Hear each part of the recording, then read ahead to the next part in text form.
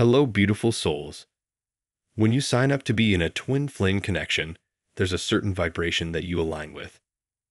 Okay, this connection is extremely rare, and when you signed up for this type of life, okay, you're kind of chosen for this because you have the capacity to experience life and love on a powerful level.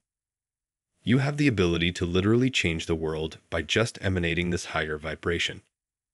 But what's also interesting about a lot of twin flame connections is that although these souls have this beautiful light energy, you have also experienced extreme darkness. Okay. And this ties into that divine violence, that yin and yang energy. You both share a much deeper understanding of things that may not make sense to a lot of other people, and your masculine is realizing this energetically and also subconsciously. That in these moments where they were pulling away from you, or where they ghosted you simply due to the intense emotions that they were feeling, you both were being protected.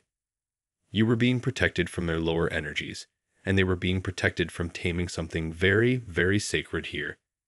So, this is what they want you to know Divine Feminine. This is why they feel this intense urge to look you into your eyes and to tell you that they understand what's going on here on a soul level. Okay, so something very spiritual may be happening within their life here.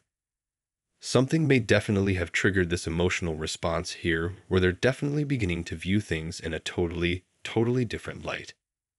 Okay, it's like they were trying to make sense of who you were and where you came from and why you have this uncanny ability to kind of ignite something within them that they don't have the power to turn off. And they projected a lot of this on you. But this realization is definitely hitting them like a ton of bricks. So, a lot of the times when it comes to these types of connections, they are extremely triggering. And it is so easy to personalize what your person is doing and to kind of project their shortcomings onto yourself. And in these moments when your person had to kind of withdraw from the connection, you were being protected from whatever is inside of them that needed to be purged because of how intense this connection is. It's extremely easy for you to get caught in the crossfire, divine feminine.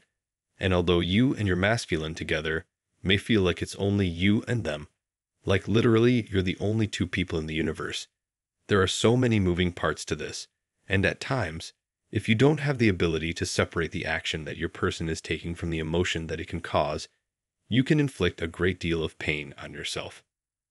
So, if you are in a place where you have been rejected in any type of way, know that you are being protected, divine feminine.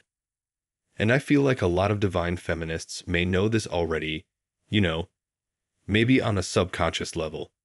But this is just showing you a close up of how they feel. Even if they are at a distance, they feel you from Divine Masculine. Type yes if you believe.